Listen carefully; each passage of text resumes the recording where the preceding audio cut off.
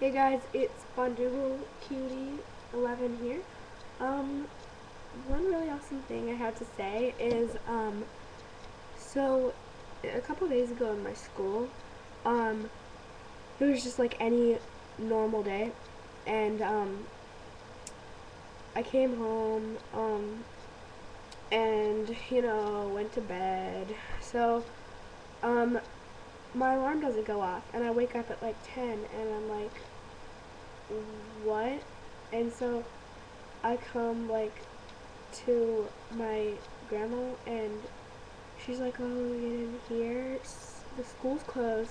And I didn't actually figure out why until um, the day after, like yesterday, because um, what happened was um, apparently there was a gas leak, like outside of my school, like really serious, bad crap. So um, then uh, they want to um, have us at school. So they said, we're going to take you to the school. And if the gas isn't fixed, which we don't know about yet, then we're going to take you to uh, the local middle school. I can't really say the name. Um, but um, yeah, so um, they call it like at like 5 in the morning.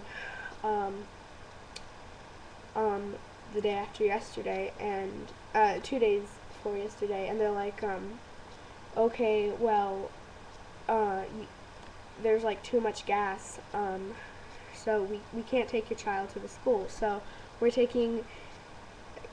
They're taking me to Dixon Smith. It's a local middle school. So um, yay, middle school. We're going to middle school. We're too young for middle school, but yay. Um, I'm going there next year. Uh, and it was really awesome going there. Um, cause I don't know, like we got free food from the lunch line and stuff. Um, and so they said that that day they couldn't. It wasn't because of the first glass leak. It was because they found a second.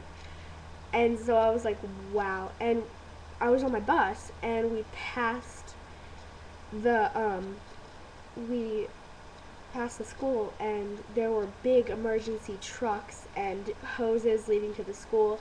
And then so I went yesterday we went back back to the middle school and um, they found four more gas leaks. So eh, apparently they, yeah they found four more. So they're my friend said that they passed it. They're digging four foot holes and they took out the heater. And um, yeah, so it's like really serious. So I'm hoping that we won't be back in our school for a long time. But yesterday it was actually kind of funny and weird and like bad at the same time because one we were the only fifth grade class without a classroom and um, two we had to sit in the hallway and we were like so tired so and hungry um because they moved our lunch um, so every time somebody would pass us, we would reach out to like to them and we'd be like, "Please help us. We're tired and hungry." And um, yeah, so it was really funny.